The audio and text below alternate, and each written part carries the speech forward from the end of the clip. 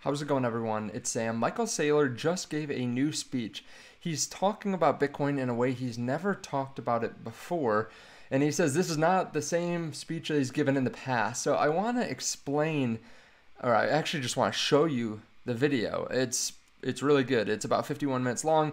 He posted it on his Twitter. So I'm just going to record it and play it for you guys. Of course, you know there are links underneath the video to Margex in case you want to trade cryptocurrencies on leverage.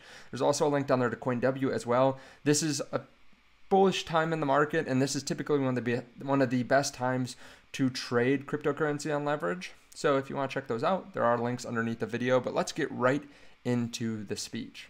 Thank you everybody for showing up. So, do we want a little Saylor chant? Saylor, Saylor, Saylor.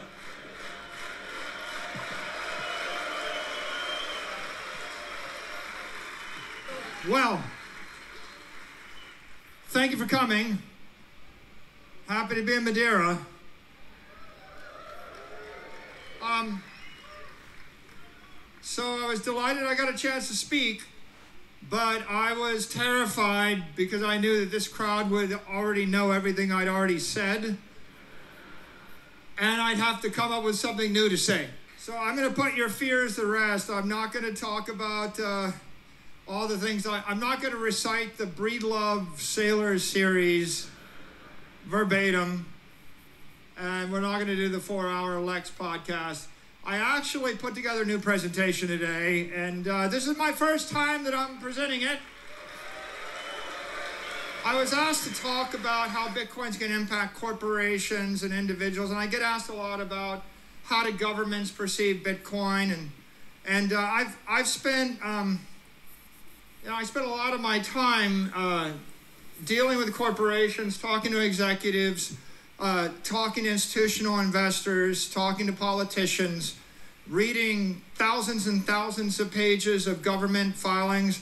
I'm the kind of guy that I will listen to every minute of congressional testimony just so I know what each of the 40 congressmen said or thought. Uh, admittedly, I'll do it on a, a, speed listen, but I will listen because I want to know what they thought. And um, so, what I prepared today is kind of amalgam of my views on this, and I think um, I think this is the perfect audience presented to. After after I finish, I'm sure I'll get a chance to meet some of you, and I'll look forward to getting your feedback. So I'm going to start with a simple observation. I think we all understand. To survive, everyone, everyone must convert their work into assets that are scarce, desirable, portable, durable, and maintainable. If you're a living creature, you're, you're converting your work into organic energy. We call it fat. Fat's the most scarce, desirable, portable, durable, maintainable asset in the organic world. It might have been demonized, but if you can't generate fat, you're a type 1 diabetic. Life is going to be short and brutal and difficult. You really need to be able to store energy. Now, if you're an individual, a company, a family, a government, you have the same exact challenge.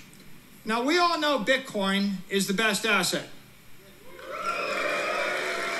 You agree?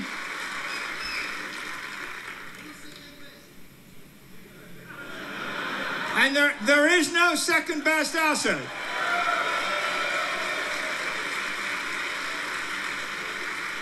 And that is why we are here, right? Because we need an asset. Bitcoin is the best. There is no second best. But why is that the case? Well, let's just start with Bitcoin is digital. And the entire world for the last 5,000 years has lived on analog assets real estate, gold, silver, paper, money, bonds, buildings, collectibles, sports teams, livestock, cattle, and bales of tobacco, seashells, and glass beads. Now we have a digital asset. In fact, this is the digital asset. Maybe this is the only digital asset. Now, what is that? What kind of asset is it? Well, you could think of it as digital capital. And I've, you know, we've, we've talked about capitalism. There are hundreds of trillions of dollars of capital. Bitcoin is digital capital. You could also call it property. We have hundreds of trillions of dollars of property in the world. Bitcoin is digital property, something you can own. We could also call it wealth. Bitcoin is digital wealth. Analog wealth is when you own hundreds of acres of land somewhere. We can also call it digital money. Money, a medium of exchange, a store of value, a unit of account. But as you see, sometimes when people get wrapped up, when they when they get focused on money they immediately go to medium of exchange and they immediately think about a currency and they immediately get themselves wrapped around the axle in opposition to the peso or the dollar or the naira and it becomes a very political discussion. When you come back to think of it as property or wealth then it becomes much less political. And of course my favorite bitcoin is digital energy. Now fat is organic energy. The universe is made up of energy. Matter is static energy. Einstein showed us that when he gave us the E equals mc squared. He said matter is energy, energy is matter. Now, Bitcoin is more than these things. I could, I could go on for a while, but the point of this is not to talk to you about what Bitcoin is. You already know what Bitcoin means to you. The real point of this discussion is to talk about what Bitcoin means to the rest of the world. Bitcoin's going to have many types of participants in the future. You know, one set of participants, one set of people that are going to be plugged into the Bitcoin network are clearly individuals. There are 8 billion individuals on the planet. What are individuals going to contribute to the Bitcoin network?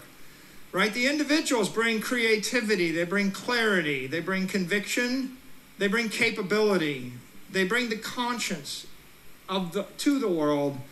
And of course, they are going to hodl. They're going to hold Bitcoin for life, right? Now, how many? Lots, right? Right now, there are hundreds of millions of individuals that have an interest in Bitcoin, one way, shape, or the other.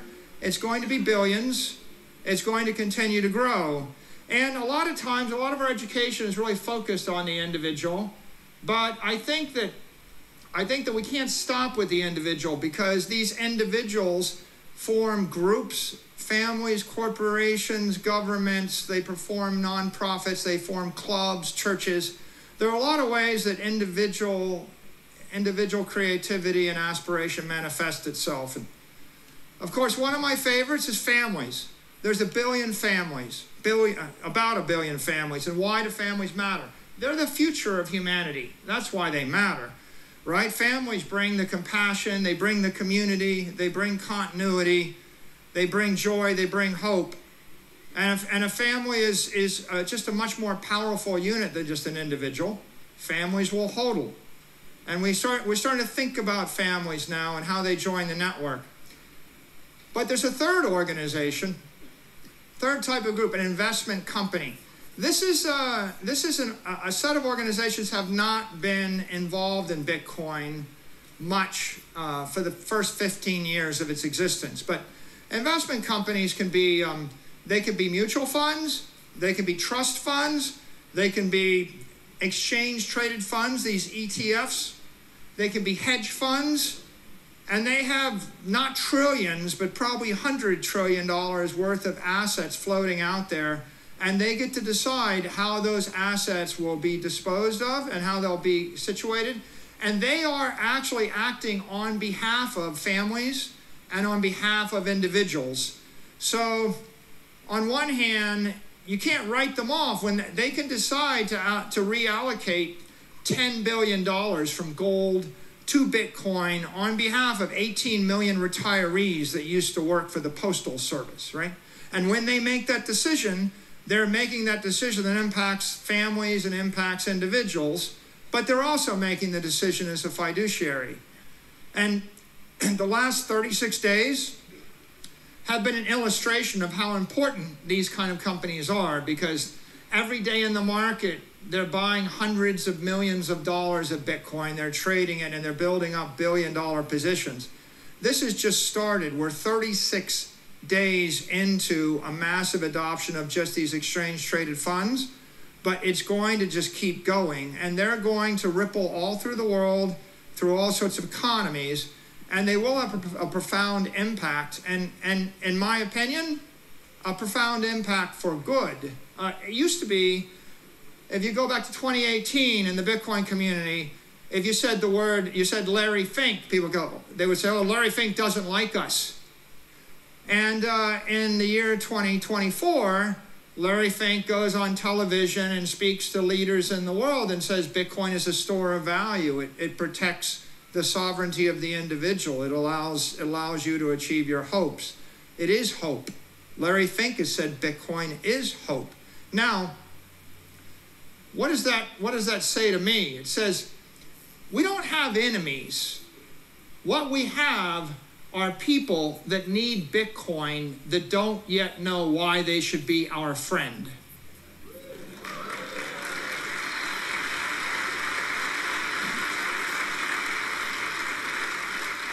When someone goes on television and they're asked, What do you think about Bitcoin? and they get poked and they're a little bit irritated, they got to ask the question. They're not an enemy of Bitcoin, they're just not prepared for the question. And in fact, over time, the journalists will do the poking because they know the most important thing in the world today is Bitcoin. And you're going to have a group of people that understand it that will say it's the future and you'll have a, a group of people that don't understand it and they will not have embraced it. But at the end of the day, with time, with education, we're going to we're going to see more and more people join the network and they're going to participate.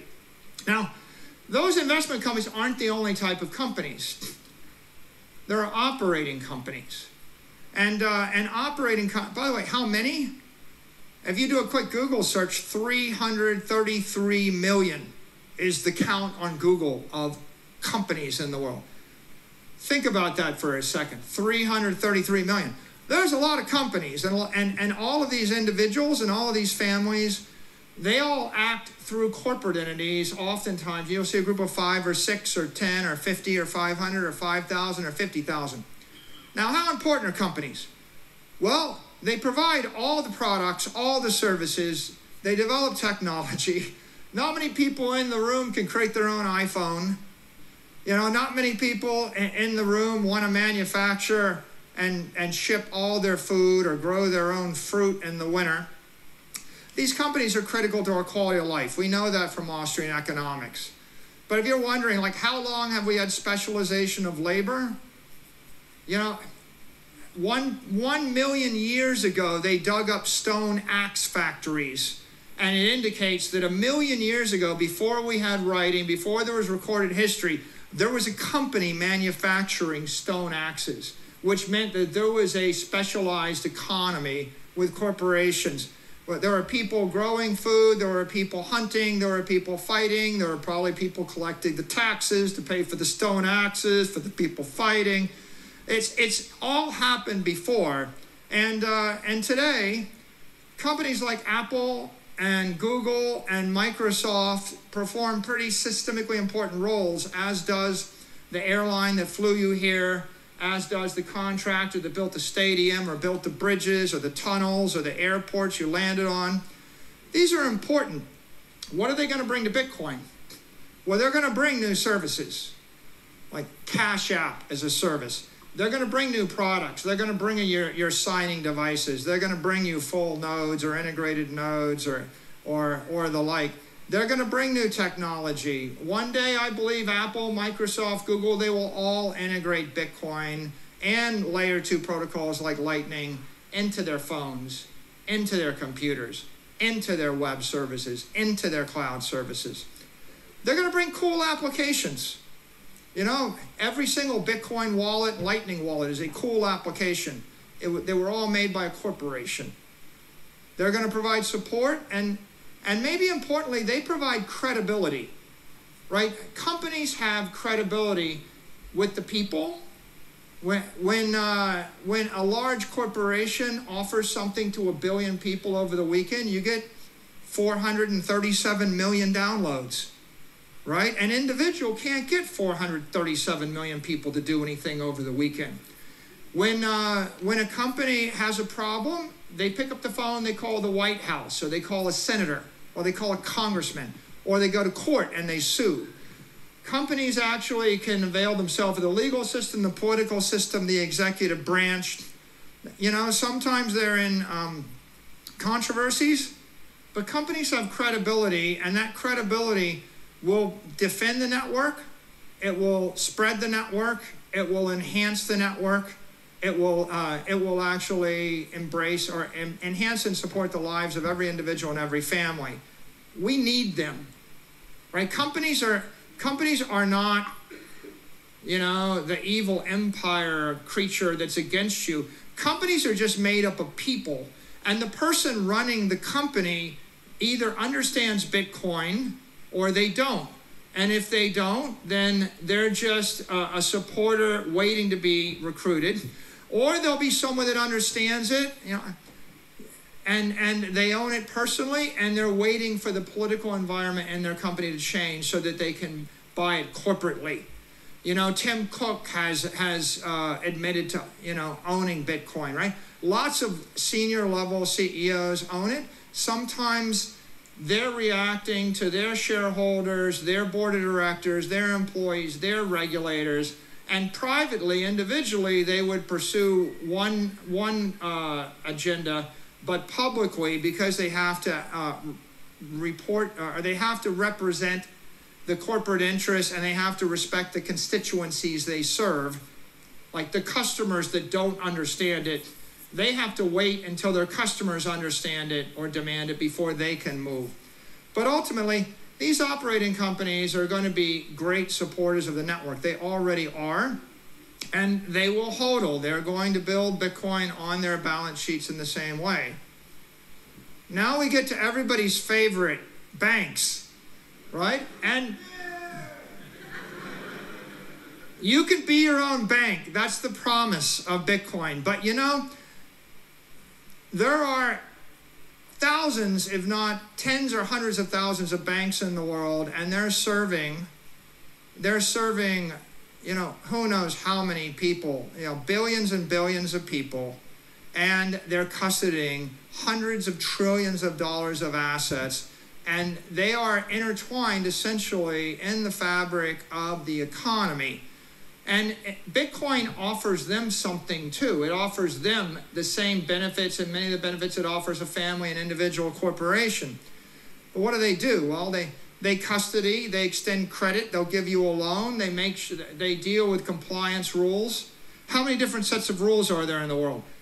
There's 10,000 jurisdictions, 10,000 different sets of rules and the banks have armies of lawyers and accountants and compliance people to figure out how to give you a mortgage or to figure out how to give you a car loan right? It's a lot of work. You know you don't really want to borrow money from the dude down the street right? They call that a loan shark. And yes you can do it but the interest rate you know is going to run to 70% a year not 7% a year. So however bad you think it is with a bank it gets infinitely worse when it's an individual, right? And uh, they don't sue you, they break your legs when you don't pay the bill. So banks are really important for these things. They also have an important role in transfer, settlement, moving moving assets around millions of times a day or billions of times a day. And ultimately, you know, they used to joke banks where all the money are, where all the money is. Banks will hodl. Banks will also hold Bitcoin on their balance sheet in time. As will nonprofits, right? How important are nonprofits? Your church, your school, right? Your your soccer team or your clubs, right? The garden club, the pet club, the horse association, the Olympics every possible nonprofit, every activist group. You, you know that almost 6% of the US economy is nonprofits? I mean, it's, a it's an incredible amount, right? And so, what, it, what can they contribute? Well, they educate, they empower, they will expand the Bitcoin network throughout the world. They'll go places that, you know, maybe you don't want to go, and they will go, right? Uh, they will drive engagement right? They, they have missions to engage with the weak, the young, the old, the poor. I mean, everybody everywhere over the border where you are not. they go into dangerous war zones. They're the Red Cross, right? They provide medical services, right? And they provide advocacy. They're pretty effective at providing advocacy. When they're on your side, they spread ideas all through the world. And when they're against you, they can also be not so good. And they're endowed, right? The greatest endowments of the world, the Harvard, the Yale endowments, right? Uh, these institutions like Cambridge or Oxford, they've been around for hundreds and hundreds of years. That's because they have endowments. Bitcoin is the best, the best asset in the endowment, right? This is a solution to them, and this is a need they have. And, and we will see more and more of them embrace this. And then finally, I, I could subdivide the world into 37 categories, but I'm going to end with governments because oftentimes people think, well, the government is against Bitcoin. And what I'm here to say is the government is made up of people.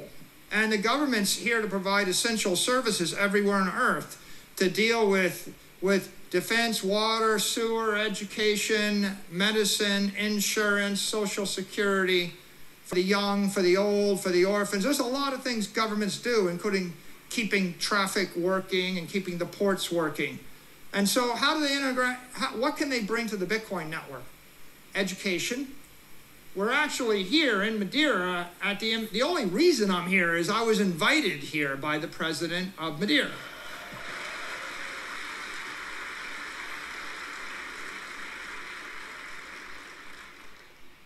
And so they have this role. They, they will integrate. They will provide security. I think governments will, will eventually engage in Bitcoin mining. They will support Bitcoin miners. They will defend Bitcoin miners. When you see a world of 100 different countries, all of them mining Bitcoin, then, then an attack on one of the, of the Bitcoin miners may result in a response by another country. So I think the governments will also be advocates, and the governments have balance sheets, and the governments will hold them. So everybody here, they all need Bitcoin. They can all contribute to Bitcoin. And they all support it. So key point, everybody. And when I say everyone, I don't mean every person. I mean every entity. Every, the ones you love, the ones you hate, your enemies, your friends, the company you dislike, the company that you adore, the other family, the whatever, the, your favorite sports team and the awful soccer team that beat your soccer team. Sorry, awful football team that beat your football team. It's not just Bedford that needs Bitcoin. Um, everybody benefits from Bitcoin. They might not know it, but they do benefit. Why do they benefit? Because because the story of civilization is about purging toxicity from our systems right? Humans started living longer when we realized we shouldn't drink water with germs in it. And then we realized we, why we cook our food to get the toxic germs out of the food right? And then at some point we realized that if we could get the toxic pathogens out of our blood we might live longer Antibiotics are about getting the toxins out of your blood, right? Sterilization, boiling water is about getting the toxins out of the water. Cooking food is about getting the toxins out of the food. We've lived with toxic money for 5,000 years. The money is simply the economic energy coursing through every government, every corporation, every group, every family, every individual. When it's when it's moving through your P&L, right, and it's toxic, it's undermining your performance. But when you store it in your treasury, right, then it's actually just undermining your life expectancy. So toxicity is holding us back. In 1900, the average life expectancy was 50. By 1950, it was 70. That was the conquest of infectious disease. Another way to say it was overcoming toxic, toxic pathogens, and we did it with a combination of sterilization, modern medicine, antibiotics. Okay, everybody wants to live longer. Even the people you disagree with, even the people with missions you don't agree with, they all want to achieve more of it, and they all want to achieve more of it by not being held back by toxicity. So, Everyone needs it, everyone benefits from it, but the most important point is everyone benefits Bitcoin. Right? When the when the bank that you hate starts to custody Bitcoin, well, that just means that the Bitcoin that you self-custody became worth 10 times as much. Right? The, these ETFs that have bought up 1% of the supply of Bitcoin, well, they have conveyed 100x as much benefit to the people that don't believe in ETFs. Right? It's $400 billion dividend to people that don't like ETFs. They're not hurting you. What happens is when your enemy joins, you get you're improved and the network is improved, and the likelihood of war decreases. We we move if we want to eliminate war and conflict and violence, we really want all of our enemies to settle their differences in a fair, equitable fashion. And the fair, equitable, peaceful way to settle your differences is Bitcoin. So you shouldn't fear those who don't understand who are your enemy who join Bitcoin. You should fear those who are your enemies that don't join Bitcoin. They're the ones that will use bullets to solve the problem.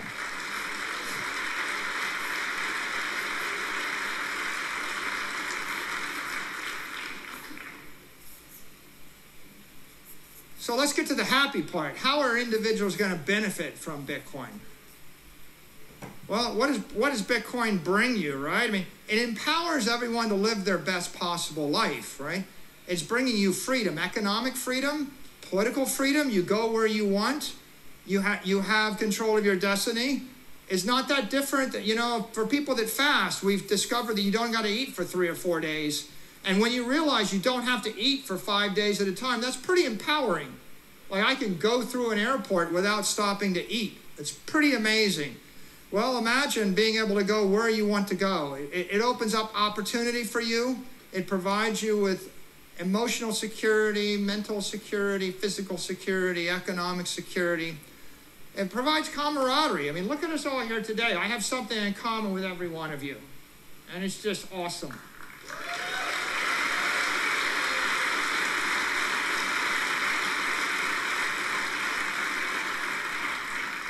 I invite you all to think about your relationships and the nature of your relationships before you discovered Bitcoin. And then think about how they changed after you discovered Bitcoin.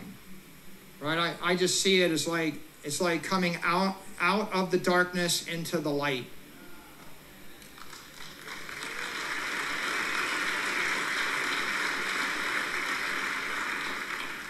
And, that, and that's why I see Bitcoin as empowerment and hope for the individual. But for the family, what does it mean to the family? It is a foundation to support your family for generations. Right? What, what is the tragedy of the family? The tragedy of a family is when you run your family on toxic money and you build your family on defective assets and defective property. I'll give you a classic cliche tragedy. Our family came to this country. My great grandfather bought this farm. My grandfather farmed this land, my father farmed this land. Now I can't pay the taxes on it. We got to sell it and all move into like apartments. Why? Because property is a defective way. It was the best idea 200 years ago, I get it. But if you actually own a thousand acres and then someone comes in and creates a state and a mayor gets elected and the mayor decides to spend lots of money on whatever, and they raise your taxes and raise them again and raise them a third time, pretty soon the people with the farm can't pay the taxes, and then the government decides that you're the bad guy. They take all your land and eject you or evict you. You know, and maybe they don't do it directly. Maybe first you mortgage the farm, and then you can't pay the mortgage, and then the bank seizes your property. And that's a tragedy. And what is the tragedy? The tragedy is you built your family on a defective asset you need a, and a defective money. Not your fault. I mean, look, you go back a million years, people were dying at age 28. They have no antibiotics. We didn't know that sugar was toxic. Our teeth fell out. We didn't know how to, how to deal with a pneumonia infection. You get cut, you die. You know, someone drinks water, it kills them. You eat the wrong food, you get dysentery, you get cholera. No, you know, whatever the, the history of humanity is people dying and suffering because of toxicity. And the promise of technology is first we come up with the science to figure out it's toxic, right? The microscope let us look into the blood and realize that there were bacteria that were killing us, right? You need the instrument, then you need the understanding, then you solve the problem, right? That is the story of civilization. That, that is how humans progress. Well, with families, a lot of families struggle, and, and the economic struggle is a defective economic strategy. Bitcoin gives you that foundation. And you can use it to protect your family, relocate anywhere, change your career, create a legacy, accumulate more assets, accumulate wealth, plan for the future. You know, if you asked me if before Bitcoin, if you asked me how are you gonna how are you gonna create or, or fund your foundation for the next hundred years, I would have said something like, I guess I give all my money to Wall Street and I hire some good money managers. And 70 years from now, the grandson of someone that I hired today might go to college, figure out what to do, and, and day trade or shuffle my money around so I don't lose it. May, I, that's the best idea. It's not a good idea, right? Right? That's how the Rockefellers do it, right? But, but you know, the, what you'll see is that a 100 years after someone actually accumulates some wealth, the, the money's generally gone 99% of the time. And what Bitcoin offers the family is the ability to actually plan for your great granddaughter and think that maybe there'll be some support for them and uh, no one is going to take it from them.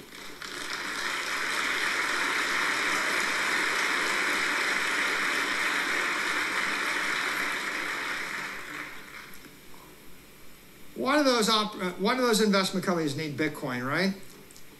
They need Bitcoin to attract capital.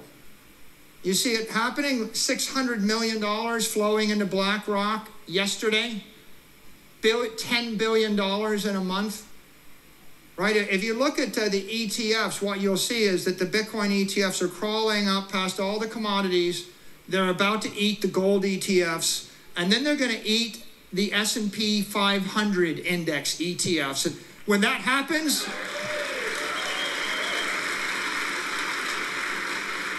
everybody's going to take note.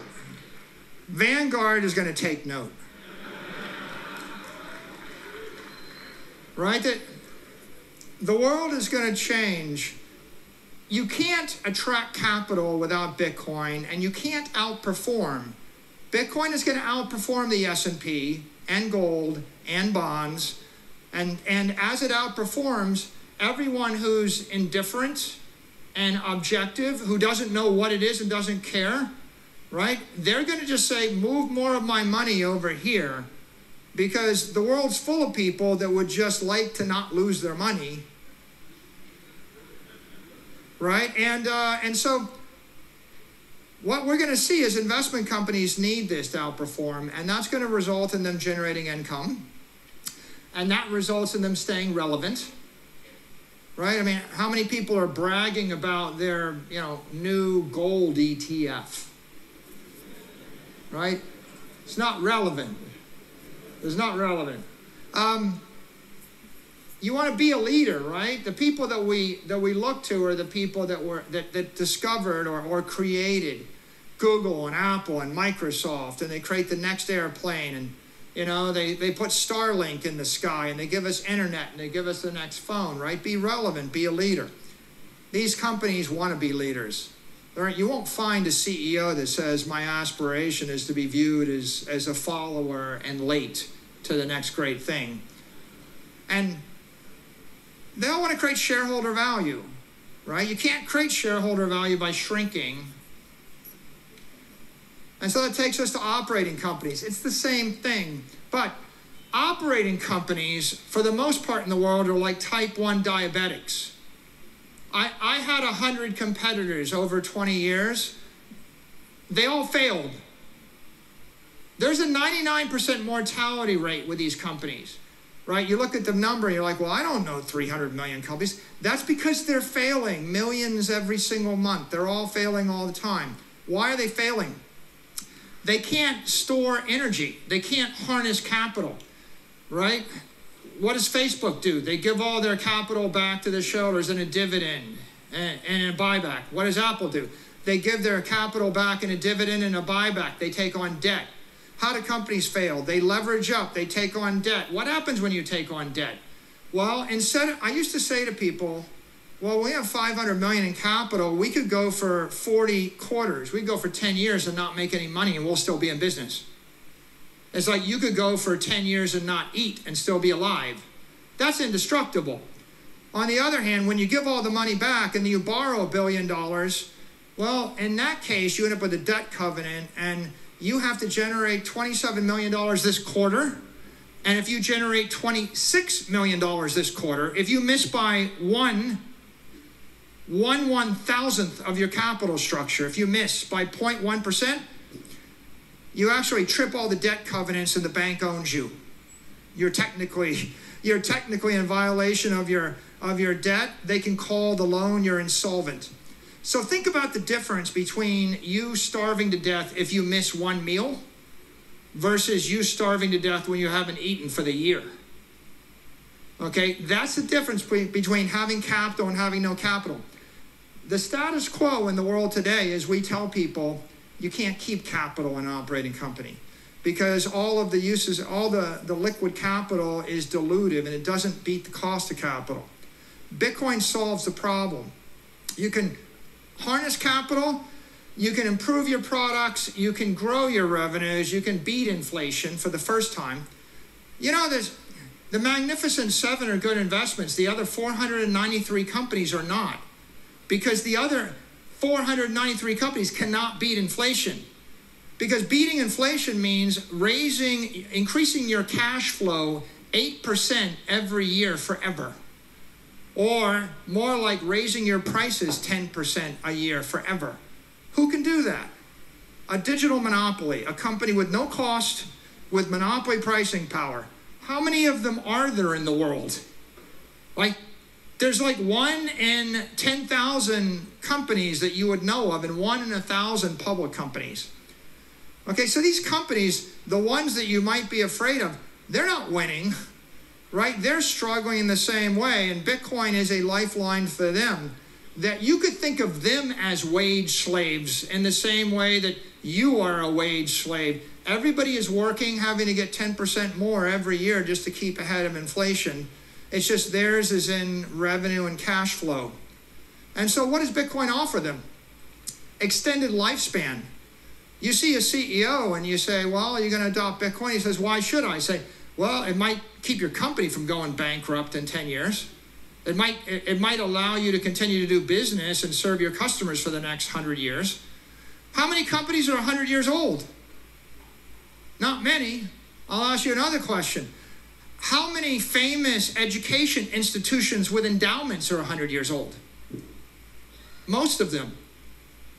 Right? Why is it that, that universities last 100 years and companies don't? No capital. That's why. You think anybody goes in business wanting to die? That you think they want to have their company fail in 12 years or 6 years or 25 years? No, they're stuck in a system right? They're stuck in a traditional system that makes them do this.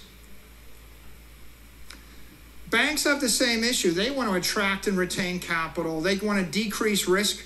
You know, you could say, well, you know, the bank is beholden to the central bank. Well, here's another vision. What about 100,000 banks that are all tapped into the Bitcoin network and they don't have to worry about the Bitcoin network shutting them down? Right? When a bank joins Bitcoin, it becomes systemically robust, much more anti fragile. This is a benefit to banks, right? They'd like to find a way to do this. This will decrease their risk, increase their earnings, let them create shareholder value, let them delight their clients. They have a billion customers, they have corporations, they need to serve them. All of these companies, all of these nonprofits, they all need the bank to support what they do, right? And in time they will. The nonprofits are also going to benefit. They want to raise capital, but also they have endowments. They want their endowments to go up 40% a year, not go up 4% a year. right? There's nobody running a church, a charity, a benefit, a school that'll say, we don't want our endowment to appreciate and we don't want an endowment. This allows them to harness technology. This allows them to extend their reach globally. You know, Bitcoin is money that's global and it's got a half-life of forever. All of these all of these endowments, they're using money that has a half-life of 10 years or 5 years. Your property might have a half-life of 20 years.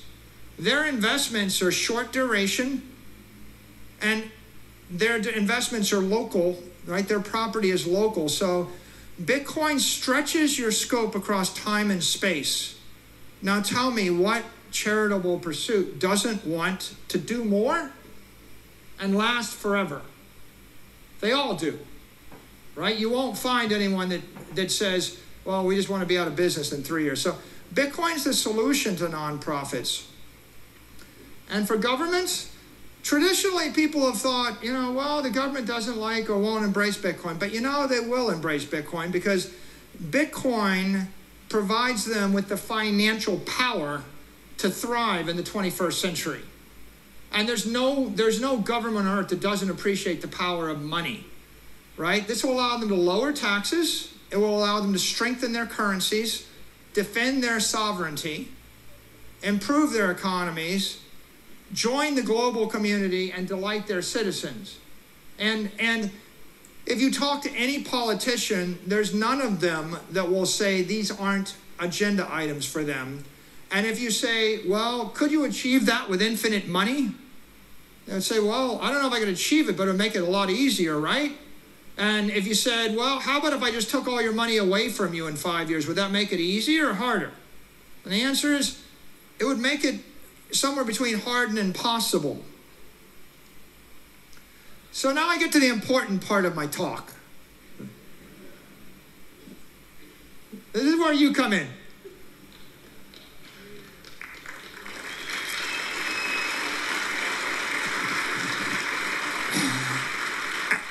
Ask not what Bitcoin can do for you, ask what you can do for Bitcoin.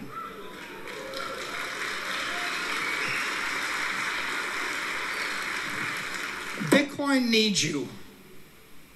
That's the reason. If you're wondering why you're here, you're here because Bitcoin needs you.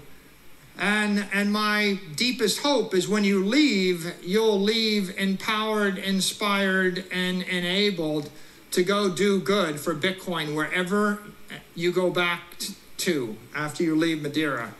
I can't stress this enough. Everyone you encounter is an opportunity to improve the world by gaining their support for Bitcoin.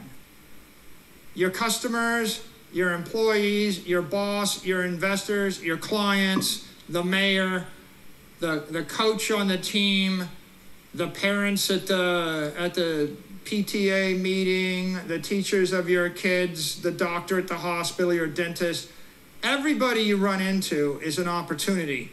And what we can do collectively that'll make the biggest difference is spread to people, right?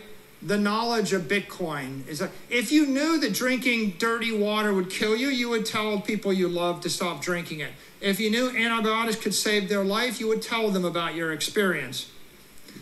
When it comes to this, and we, we I've got the orange pill here, and we talk about orange pilling, but but I break it down in uh, in two different cycles, right? First of all, everybody you meet has an intellectual perspective on Bitcoin. Okay, and they're going to click through these five gears. The first perspective is denier. Bitcoin is a scam, it's tulip bulbs, it doesn't exist, it's a ghost, a mirage, a pyramid scheme. And if we convince them that, uh, you know, I would show them a picture of all the Bitcoin miners in the world and say, oh, you look, there's like hundreds and hundreds of data centers burning more gigawatts of electricity than the US Navy. This is not a scam. This is the most powerful computer network in the world. And we want to get them from denier to skeptic. The skeptic is, okay, I get it. Bitcoin may be a good thing, but it's too good to be true. The government's going to ban it. You hear that a lot. Okay, It's good, I get it, but someone's going to take it away from you, the skeptic. And what you have to then show is, well, if the government was going to ban it, they wouldn't be bragging about having captured 3 billion of it and selling it in the open market. Right? Nor would they have approved the ETFs, nor would they be fighting over who gets jurisdiction over it. Right? And we need to move people from denier to skeptic. And then the next step, we take them to trader. Okay, well, maybe I guess I might buy some, but I'll probably sell it. I don't, you know, I'll buy it if it's going up, I'll sell it if I think it's going down. I don't have an opinion. But look, that's a step up. And then hopefully they get to that next level investor. Bitcoin is great technology, just like Google, just like Apple, just like Microsoft, just like water, electricity, cars, and planes are great technology. It's technology, it's the future. I should invest in it. You made a lot of money on the Magnificent Seven. How do you not own Bitcoin? Do you not believe in the Magnificent Seven? You think semiconductors won't make a difference? You don't believe in artificial intelligence? They have the same cycles, by the way. Once we get them to investor, the last step intellectually is Bitcoin is an instrument of economic empowerment. And if Jack Dorsey's here, I give him a shout out. Jack Dorsey put that in my head.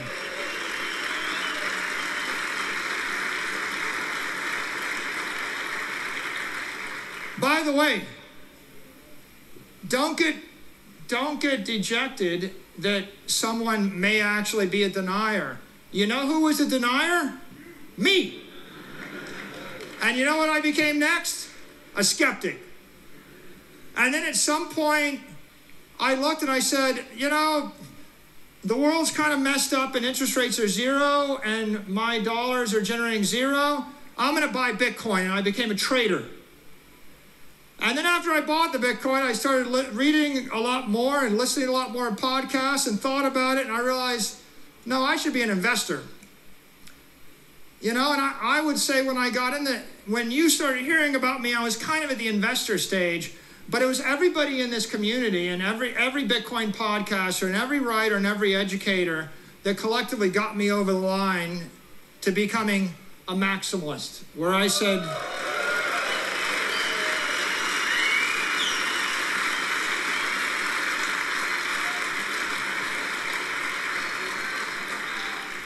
So, yeah, if you don't think you make a difference, you do make a difference, right? You're never going to see a collection of people like this at, a, at an Apple investor conference or at a Google investor or Microsoft investor or NVIDIA investor conference or gold investor conference. This is very special.